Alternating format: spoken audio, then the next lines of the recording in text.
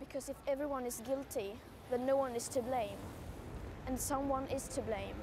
Some people, some companies, and some decision makers in particular has known exactly what priceless values they are sacrificing to continue making unimaginable amounts of money.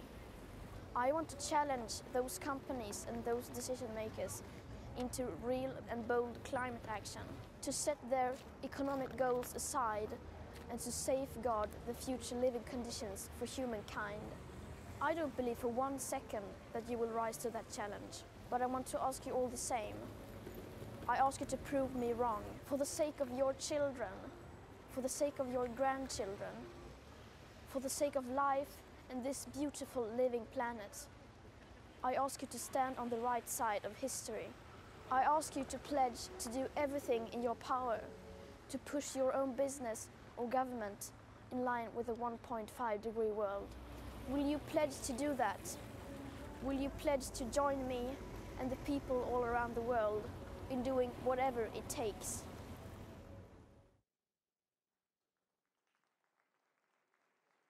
Am I introduced?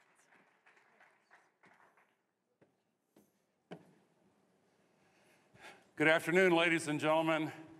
Uh, I'm Al Gore. I'm opening this uh, plenary to, uh, to preview this outstanding panel that's going to come up here. I want to set the stage, uh, if I could, uh, to all of the distinguished guests. I don't have my distance glasses on, but uh, Your Highness, Hilde Schwab, I want to thank Klaus Schwab for convening this plenary on this topic.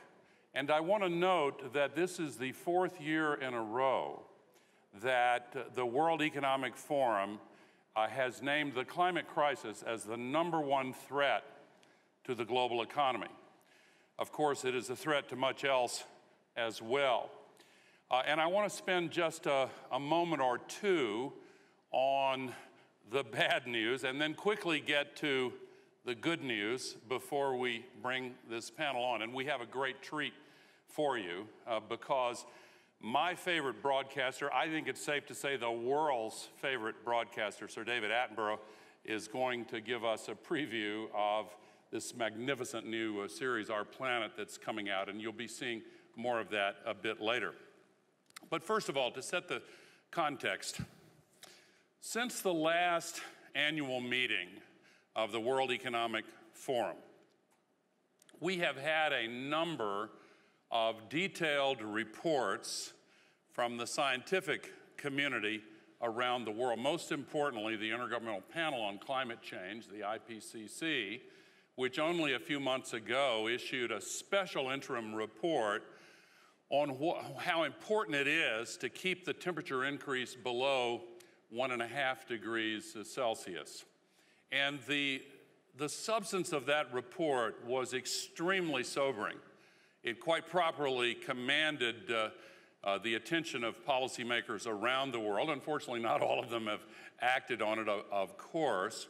But I, I bring it up just to underscore the significance of that report.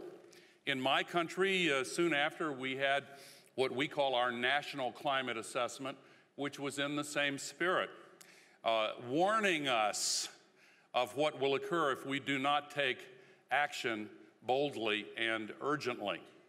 Uh, then uh, the Hothouse Earth report came out, prepared by several uh, distinguished uh, scientific uh, institutes, again with the same message.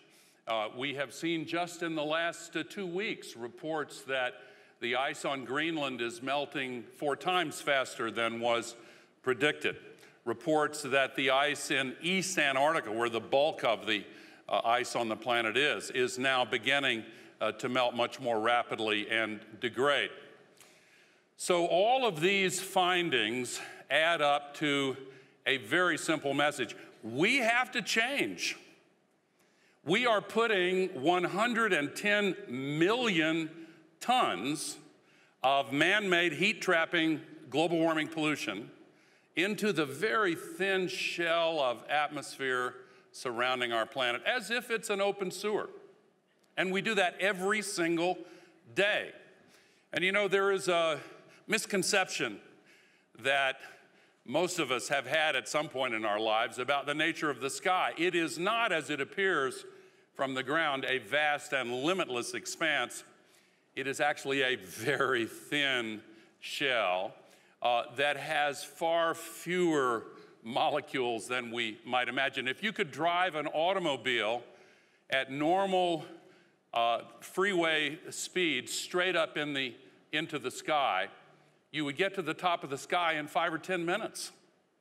Defining the sky as that level where the heat trapping gases are, are located and where we uh, can't breathe anymore if we go higher. So uh, it has accumulated and it stays there for a long time.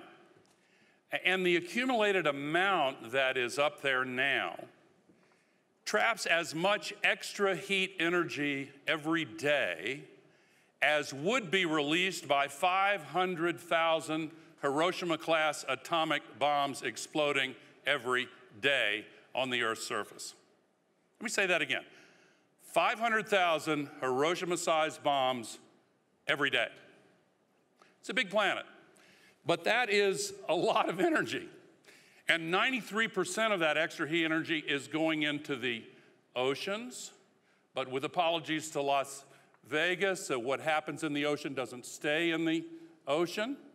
Uh, it comes back in the form of a disrupted water cycle with much more water evaporation coming off the oceans into the sky and the atmospheric rivers that create the rain bombs and the floods and the mudslides.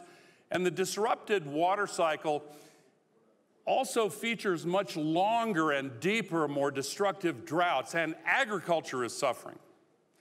Temperatures are going up. The five hottest years ever measured with instruments have been the last five years. 18 of the 19 hottest years have been in the last 19 years.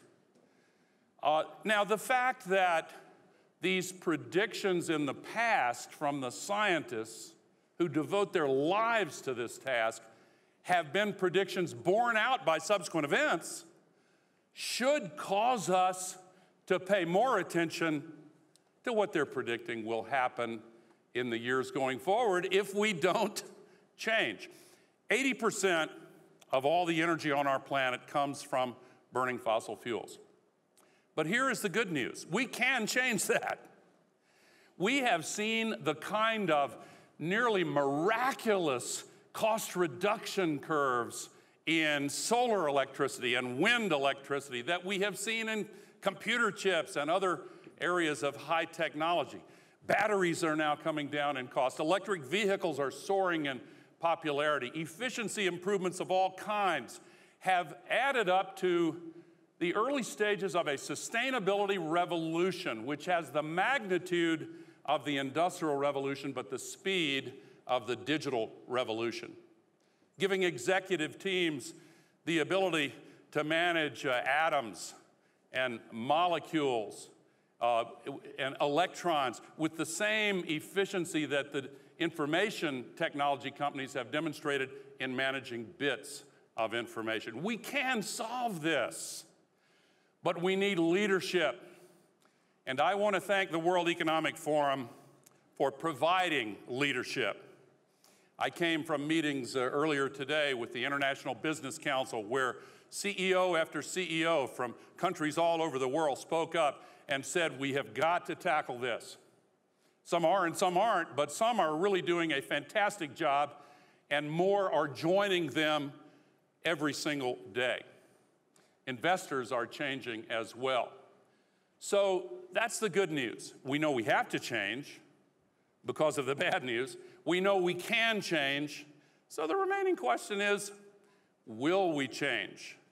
So in order to address that question and the state of our planet, I now want to invite our panelists to come on stage. First of all, the incomparable Sir David Attenborough, broadcaster and naturalist, and winner of the Crystal Award, Hilde, last evening.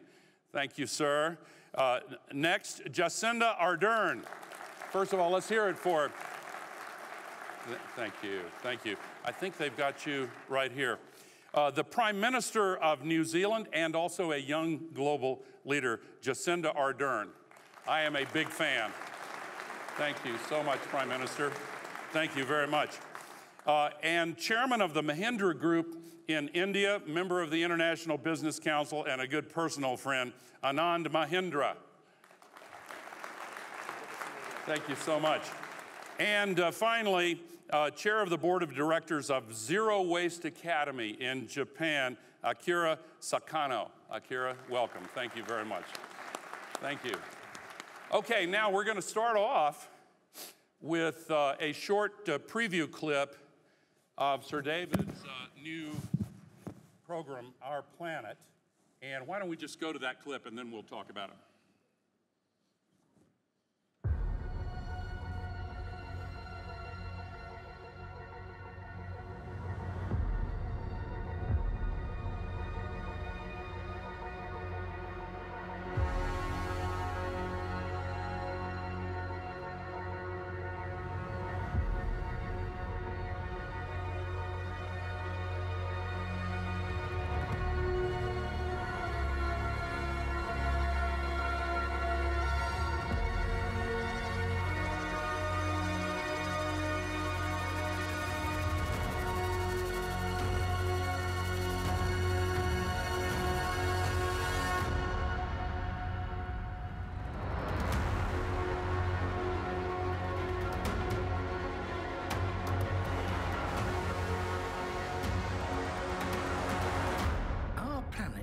Only on Netflix.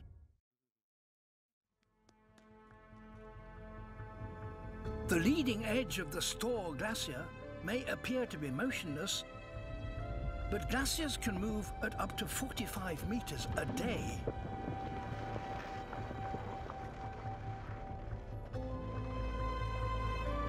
Where this one meets the sea, it towers 100 meters above the water and continues downward for another 400 meters beneath the surface.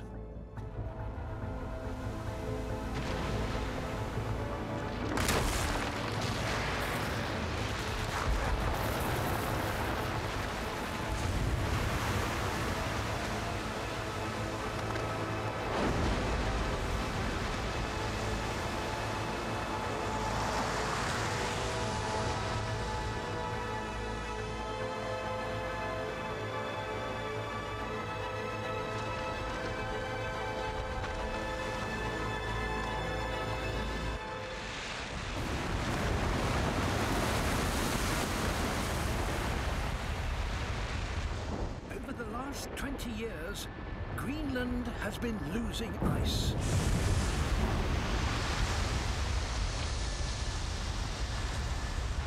And the rate of loss is accelerating.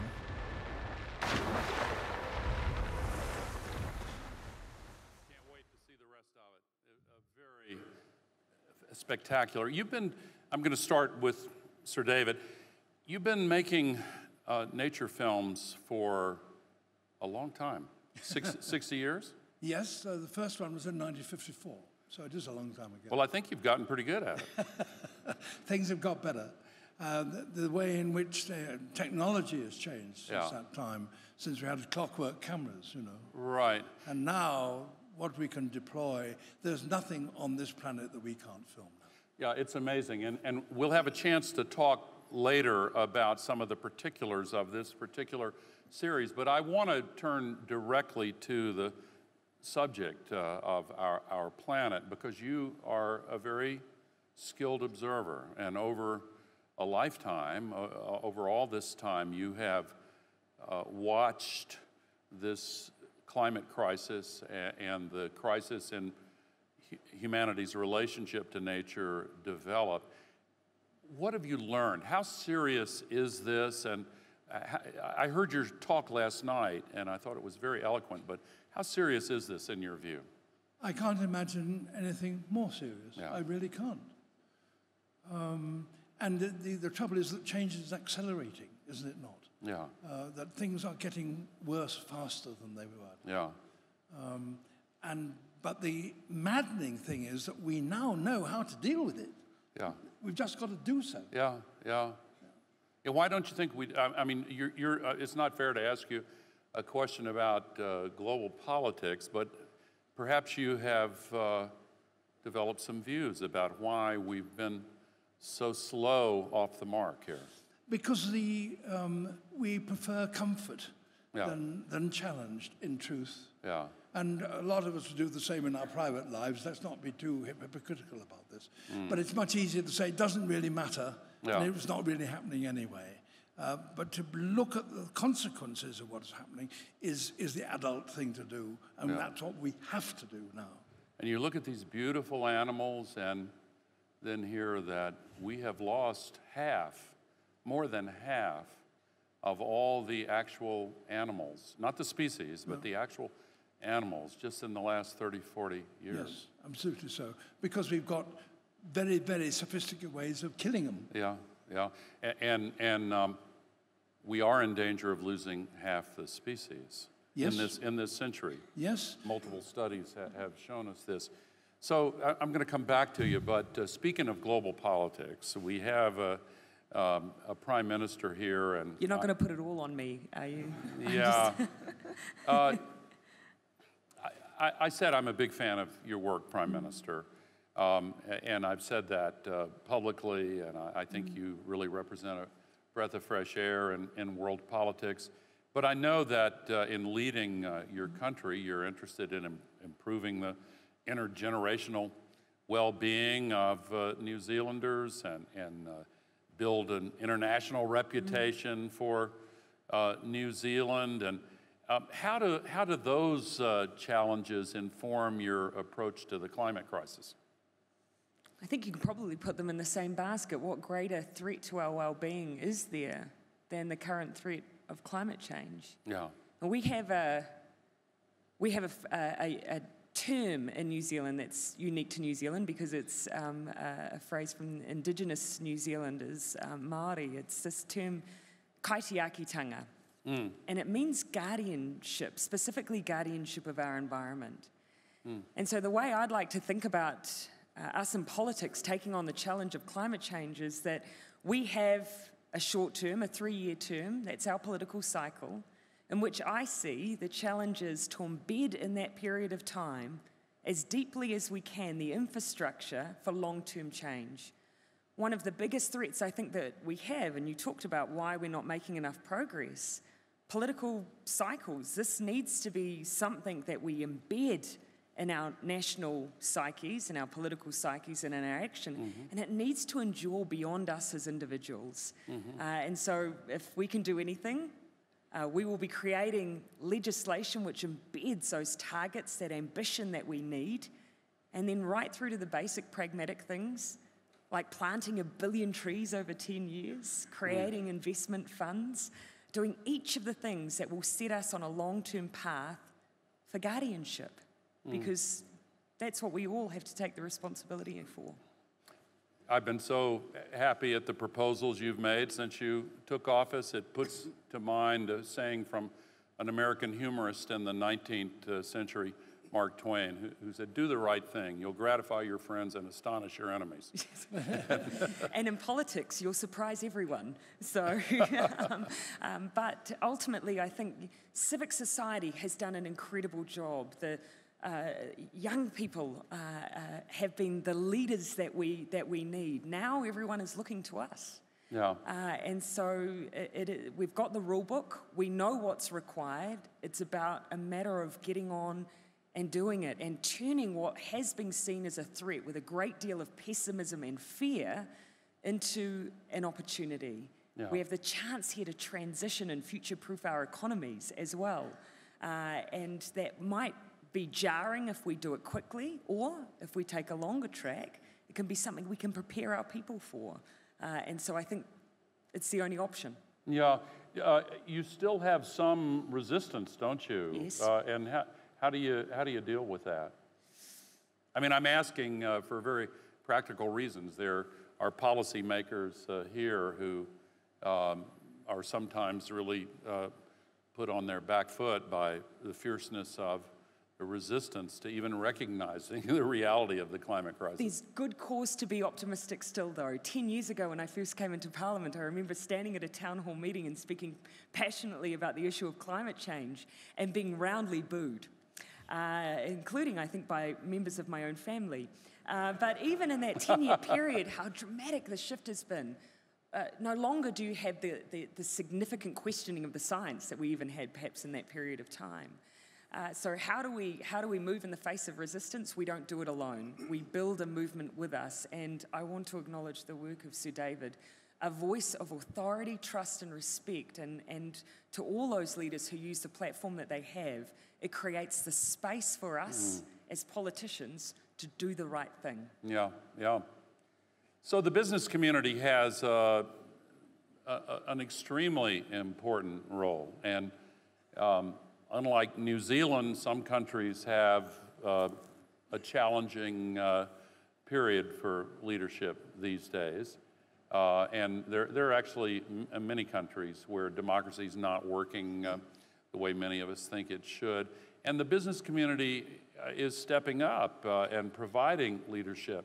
Not all, but Anand Mahindra certainly is. And I was going to ask you at the end for a, uh, a pledge or a commitment, but I know that just, just recently you did that. So tell us what you've just announced uh, as a, uh, an act of leadership in the Mahindra Group.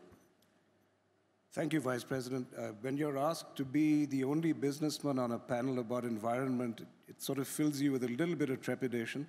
You wonder whether you're going to be the fall guy or the dartboard for everything. But knowing that you were moderating this, I was very willing because you've been a very great supporter of ours and a cheerleader. So I'm delighted, Vice President, to share with you and to share with those who were not at the Global Climate Action Summit in California in September that I did make a pledge on behalf of all 220,000 colleagues of mine in our group. It's not the largest group uh, in India or in the world. It's a sizable group. It's $20 billion with 100 companies. But I did commit that the entire Mahindra group and all its companies would be carbon neutral 10 years before the Paris Agreement deadline by 2040. That's great. That's fantastic. That's fantastic. And if more business uh, CEOs and leaders would follow your example, that would really accelerate the progress. We're seeing a lot of change in India, aren't we? Absolutely. And what I think we're seeing is that India, unlike many other countries, including many in the West, Vice President, is not dialing down on its ambitions. Mm-hmm. Uh, in fact, uh, three climate groups had created a climate tracker report, and they have announced and stated that out of 32 country survey they've done, only seven are still on track to meet their Paris Agreement commitments. And India is one of them, and I'm very proud mm. to, to, to state that here today. So India is not backing off. As far as the business community is concerned, I believe that India is also in the forefront of having a business community that unequivocally recognizes that this is not a problem that we are solving alone. This is not a nice thing to do. This is not something you check on your CSR box. This is the biggest business opportunity of the Absolutely. next few decades. Yeah. So any country that dials down, thank you very much. We'll pick up the opportunities if you don't want them. Yeah, you know, uh, that's such a great point to make. In, in my country, in the United States, the fastest growing job is solar installer, and it's growing nine times faster than the average job growth in the country. Second fastest growing job is wind turbine technician. The opportunities for tens of millions of jobs, not only in the US, but all around the world for retrofitting buildings. You know, roughly a quarter of the global warming pollution can be traced to highly inefficient uh, buildings that waste heat uh, in the winter and, and, and uh, cool in the summer. Uh, and you can create jobs in every community. They can't be outsourced, they're by nature in the community, and give a, an increase to the secular demand in the global economy on a sustainable basis at a time when we got the warning on Monday here in Davos that the risks of a downturn have increased. Well, now is the time for an increase in secular demand and, and moving quickly uh, to seize the opportunities in this transition make all the sense in the world. And young people are calling for it. And, and I, I want to turn uh, to you, Akira. um, because you represent a, a new generation of purpose driven uh, leaders and, and people involved in business. Uh, wh- what are you doing to help mobilize other young people in Japan and elsewhere? Definitely, thank you very much. Um, actually, I have issue that watching these series that just makes me so emotional in a way. Um, but please don't take everyone, the youth generation, young generation is too emotional. But we are, as um, the, yeah, as, as it's just mentioned, that we are just purpose driven. And then we know what is right and wrong to us. And we are just taking that, like, we as a community, of course, as a global shapers community, but at the same time, as a community that we work in every day in the very rural basis or very local basis, mm-hmm. that uh, we are already doing so much and we can see that how much we can already achieve as a local basis. So that's why I'm here after this to also present the pledge from the young generations for everyone to get on board.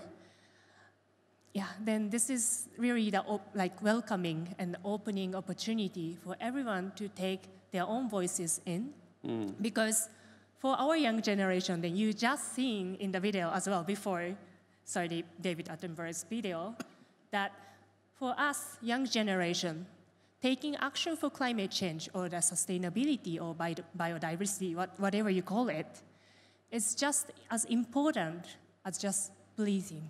It is so natural and normal for us. Mm. Well, thank you, thank you very much. I've been so impressed and so moved by your generation uh, expressing in such a passionate way the reasons why we have to do more. And Sir David, uh,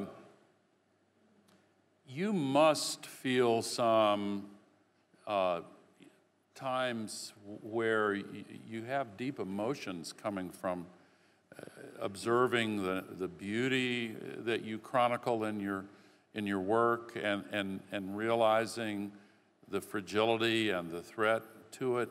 Uh, over the years, you personally have changed, haven't you, in, in highlighting the threat to the natural environment. Isn't that correct? Yes, I think so. I, I mean, in the 1950s, um, I, I wasn't alone. I think most naturalists were aware that uh, we could damage the environment and that we, a species might become extinct and we could do something to stop that. And so we were very proud of the fact that we saw the Arabian oryx mm. extinct in the wild, but had the wit at least to see that there were uh, individuals in zoos around the world, and we could get them together, and we could reconstitute a breeding herd, and we could reintroduce them. Mm. Well, okay, we did. But of course, that was a very, very simple problem yeah. with a relatively simple solution. We, we didn't even then dawn on us that what we were wrecking were not individual species, but ecosystems. Yeah. That was the catastrophe. Yeah. And that we still haven't cracked. Yeah. Haven't solved that problem. Yeah. Uh, I focus mainly on the climate crisis. I think it's by far the most serious uh, problem that we face. But in truth, it is the most serious manifestation of an underlying collision between human civilization as we have presently organized it and the ecological system of our planet. We're losing uh, forests at a rate of one football field per second. We're seeing the acidification of the oceans. We're seeing the loss of wetlands, the loss of living species, as we mentioned before. Uh, and that's not something that can be easily undone. Um, I find myself that uh, th- there is a risk of people moving straight from denial to despair without pausing on the intermediate step of actually solving the problem.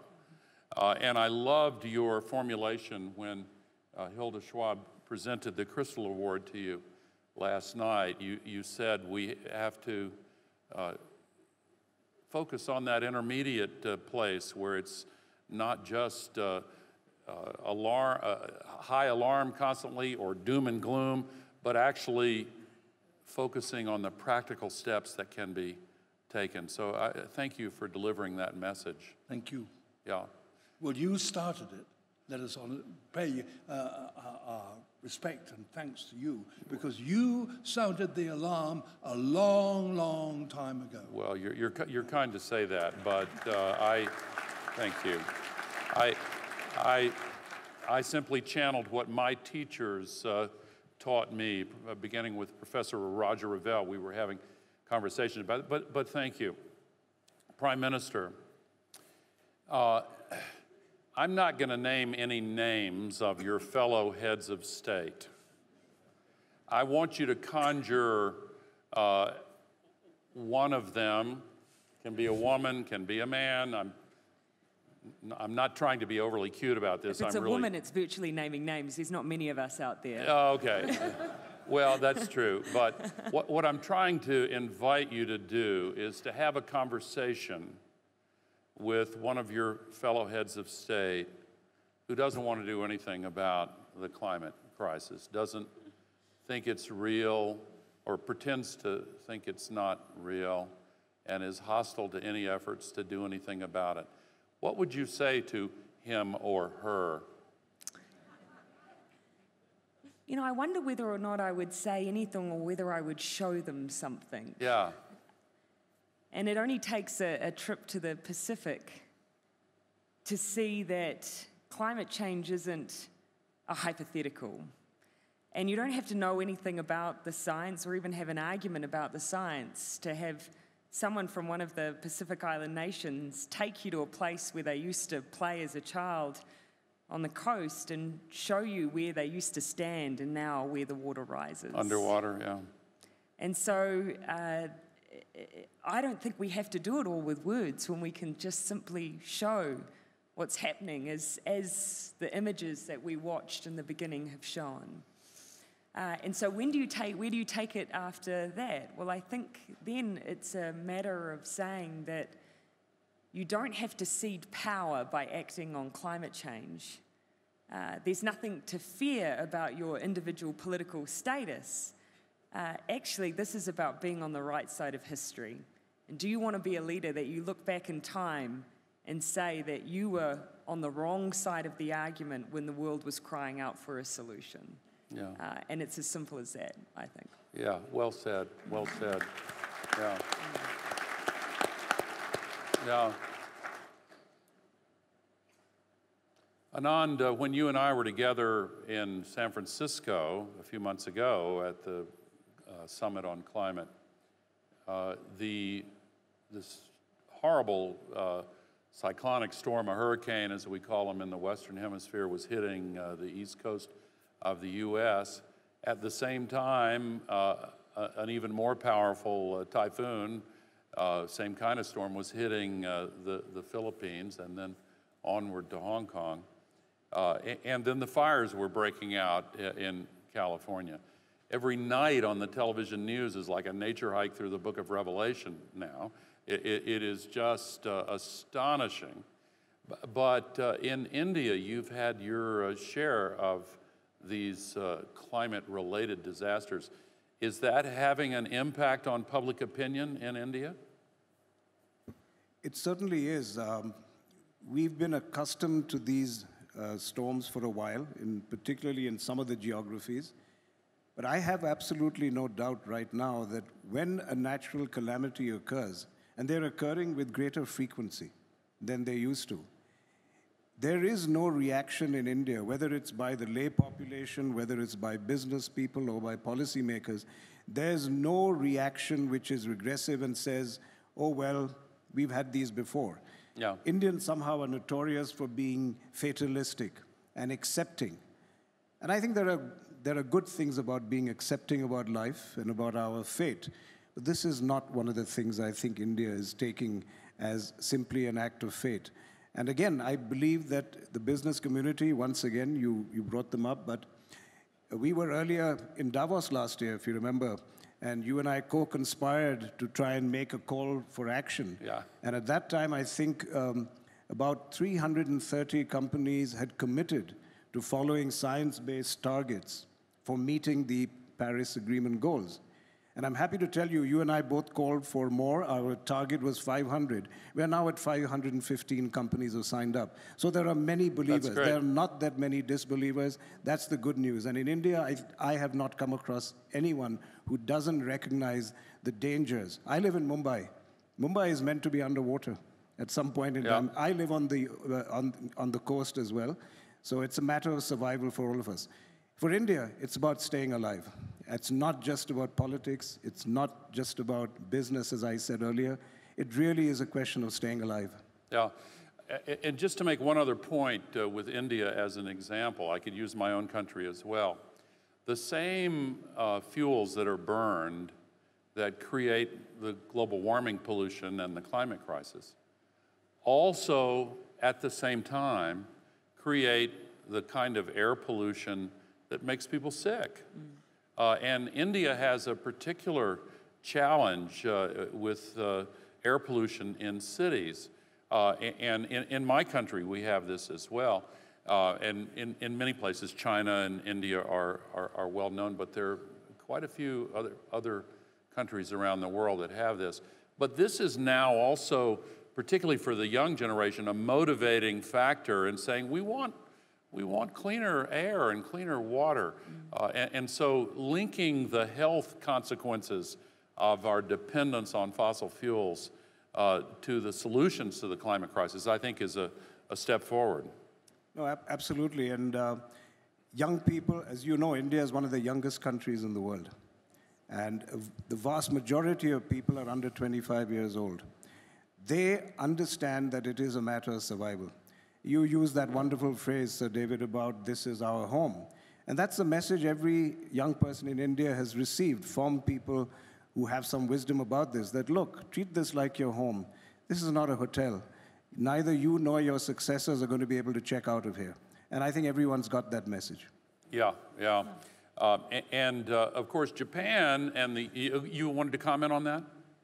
Thank you. Um, I'd like to, in a way, uh, if I can, um, revert the question to all of you because we, as a young people, we know it is the matter and then it is the crisis and we need to work on. And for example, like we are already doing so much in our own capacity. For example, myself, coming from a very rural community, already working on the zero waste that we have already achieved up to 80%. That's how much we can do as a very small group of the people.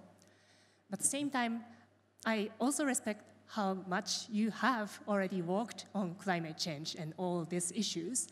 But I see the gap between the young people doing so much in their capacity, between how we can also get your buttons for our generation to be passed on. At the same time, how can we bridge this generation also transitioning so that we can also have the capacity together with all of you to actually moving forward to make change. What, Yeah. What's the advice? Yeah. Well, I, I think Run we've all got office. to take inspiration from your generation and move forward much, much uh, faster. Um, this is a challenge unlike uh, any other. Uh, but eh, the fact that we have the solutions now, as was said earlier, makes it particularly uh, frustrating for people who want to push for faster action. But I do think that we are making slow progress. Now, I qualify that because we've gone for three years with no increase in emissions. But last year, the emissions started increasing again, actually in 2017, and then last year, even more. So this is a warning sign. The Paris Agreement was a great success, but one of the reasons why it's so important that the World Economic Forum has featured this session and has so many sessions on climate uh, this week is that this year kicks off the, uh, the cycle of increased uh, commitments. Uh, and in the fall of this year, the Secretary General of the United Nations, who will also be here this week, uh, is holding a special UN summit uh, following up on the IPCC report. And then the following year, that's when every nation is going to be called on to increase its ambition. So the old cliche is you have to walk before you can run. Uh, we are seeing uh, the beginnings of progress, but we have to accelerate that progress uh, dramatically. Um, Sir David, I'm going to ask you the same question I asked the Prime Minister. If you could, if you could have a heart to heart with a head of state who is not yet doing anything on this, what would you say?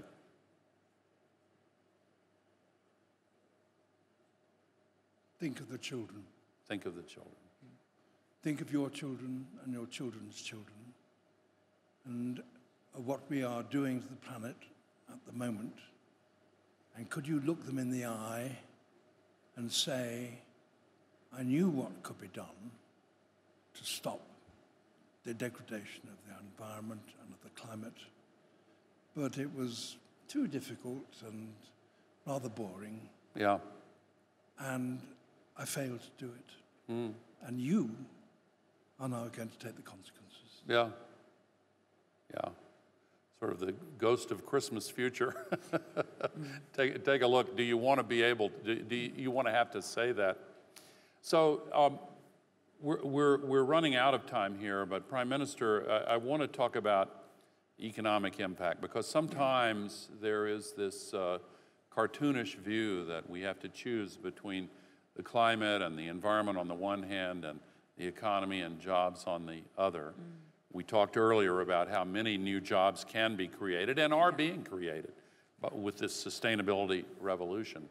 But you have uh, a, a unique uh, initiative uh, that's part of what's called the just transition. Yes. And uh, with uh, men and women who've been employed in the uh, carbon fuel sector, uh, you think that part of the world's uh, approach to solving the climate crisis has to include an intense focus on a just transition for them. What are, what are you doing in that regard? Actually, what uh, we're inclined to believe um, uh, is that any uh, any economy needs to start thinking about our measures of its success beyond just our economic success. And the traditional forms of measuring that have, of course, tended to be um, GDP uh, and growth. Uh, and for us, that, that just doesn't tell an entire story. You can have, for instance, a, a, country that's perceived to be thriving while their environment is degrading or while they're contributing um, to, to our global emissions. Uh, and so that's why we've, we've started looking at uh, doing things differently, not just having a scorecard. Um, but this year, for the first time, and I see our Minister of Finance who's having to do actually all the hard work, I'm just the Johnny come lately, um, we will be undertaking a wellbeing budget where we're embedding the, um, uh, that notion of, of uh, making decisions that aren't just about growth for growth's sake, but how are our people faring? How's their overall well-being and their and their mental health, for instance? How is our environment, our the clean and our fresh waterways faring uh, in uh, in this our state of growth? Uh, and these are the measures that I think give us a true a sense of our success. And within that, of course, we need to then factor in, of course, trans- as we transition our economy, how our people are faring in terms of their economic well-being and capacity. And so, uh, I'll give you an example. We have a region in New Zealand that has traditionally been an area for oil and gas exploration. But we announced last year that if we are to be honest with ourselves about our future, we need to transition away from uh, uh, oil and gas and fossil fuels. So we have ceased to offer any more permits for oil and gas exploration in New Zealand offshore.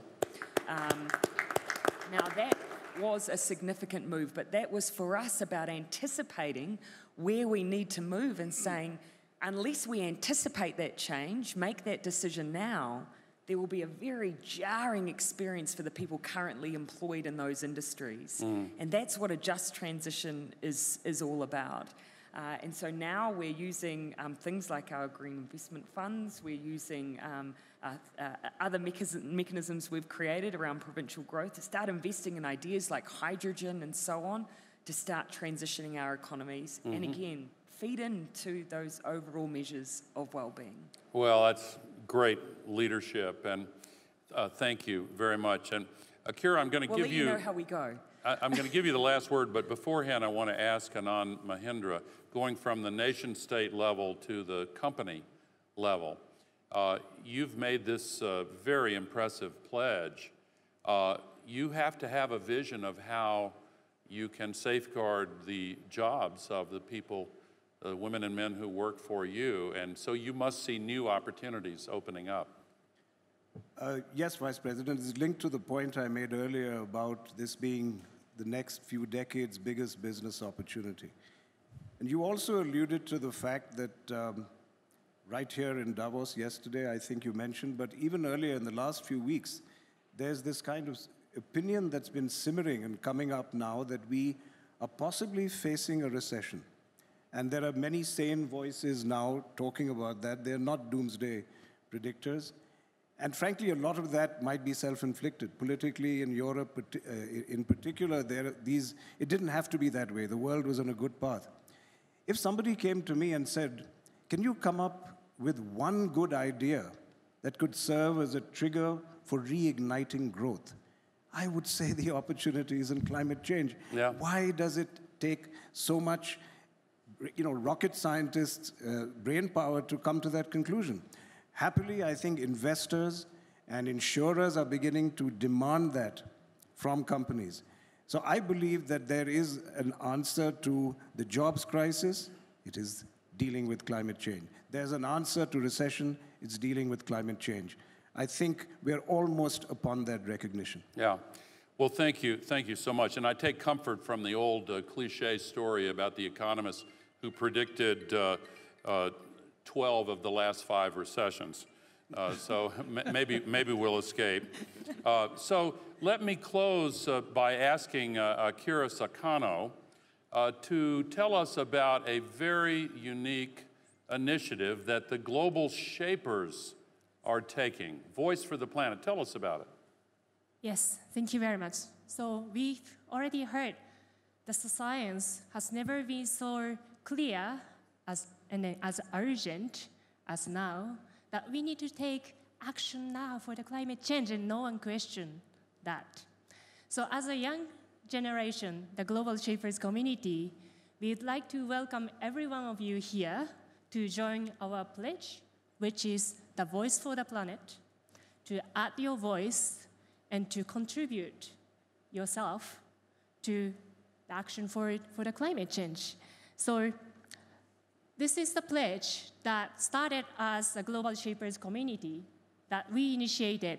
And then as a young people, I already mentioned, for us, taking action for the climate change is as important and as natural as just breathing. And then I believe everyone should be on the same place, should be on the same stage. And then that's what I'd like to present. So go to the website voicefortheplanet.org. Please bring out your phone now. Go to the website, voicefortheplanet.org, and then please add your voice. Please bring out your commitment, and then please share so that not only everyone in this room, but also everyone around you also join this pledge. And then together, I'm sure we can safeguard our planet. Thank you very much. Well, thank you very much. Congratulations on, you know, the, glo- the the Global Shapers have done such wonderful work, and thank you for this initiative. And it's voicefortheplanet.org, oh, and it's a hashtag Voice for the Planet also? As well, when on, you share. On Twitter? Okay, very, very good. Great. So, la ladies and gentlemen, um, I'm going to close this panel by, by thanking our participants, but I want to say in advance that we want you to stay in your seats because we're going to leave and then they're going to reset the stage and we're going to have the, uh, the, the, great pleasure of, of uh, hearing uh, Sir David uh, sh show, show us some more highlights of this fantastic uh, new series.